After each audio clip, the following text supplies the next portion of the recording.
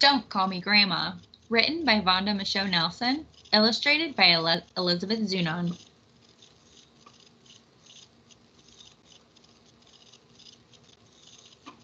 Great grandmother Nell is scary. Once I forgot and called her grandma.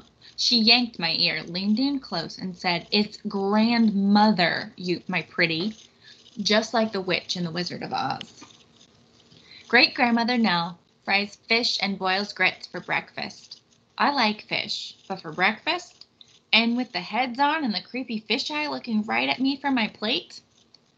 Great grandmother Nell likes the beach. When we go, she poses in her bathing suit like she's a movie star. I pretend to be a movie star too, but she clicks her hum. Scandalous, she says, so I stop.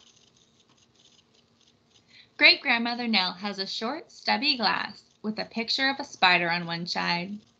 She fills the glass with something that looks like apple juice and takes tiny slips. One spider glassful lasts all day.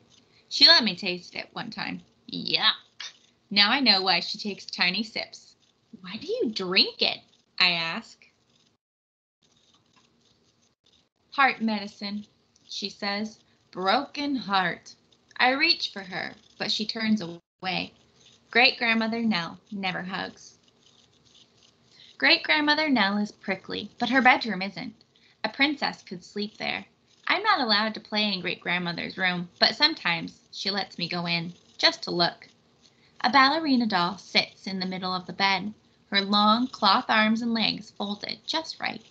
I want to pick the ballerina up, but her expression makes me think she might tell. Great grandmother Nell has a special dresser called a vanity. It has a cushiony stool in front and mirrors all around, even on the shelves. Great grandmother Nell looks in the mirror and growls. Then she turns and growls at me. I squeal and run, hoping she'll chase me. She doesn't. Great grandmother Nell's room smells sweet, like lilacs and roses, powder puffs and lipsticks, and nail polish and wigs and pearls and earrings, and bottles and bottles and bottles of perfume crowd the vanity shelves. Mirrors make it look like there are more bottles than they really are, all shapes and sizes and colors, fancy glass, blue and green, pink and yellow, from New York or London or Paris. The ones I like best have sparkly glass tops with stems that great grandmother dabs behind her small ears. Here, she says, and dabs me with something that smells like vanilla. Then she sniffs me hard and loud with her wide nostrils.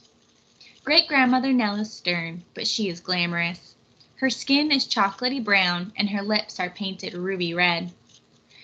After she puts on lipstick, she presses her mouth to a tissue. She colors my lips too, then shows me her tissue trick. To make sure you are wearing just enough, but not too much, she explains. I pucker my lips and kiss the air. Great grandmother Nell never kisses.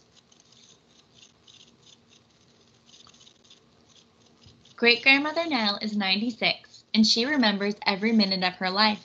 All of it, from the day I was born, she tells me.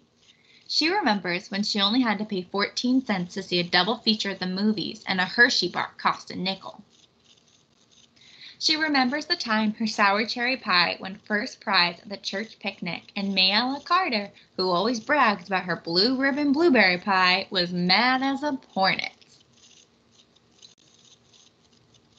She remembers the time her best friend said they couldn't be friends anymore because of her brown skin.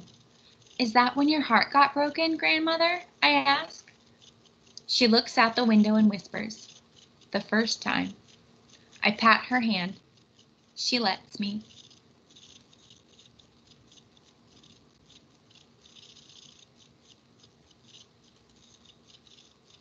Papa says great grandmother Nell won't be with us so much longer because she is so old. I don't think he's right. She's old, but she's not worn out. Tonight, I climb out of bed and sneak into her room. The ballerina is sitting on the vanity stool watching other ballerinas in the mirrors. She won't notice me. A lamp is on by the bed, but great grandmother Nell is sleeping.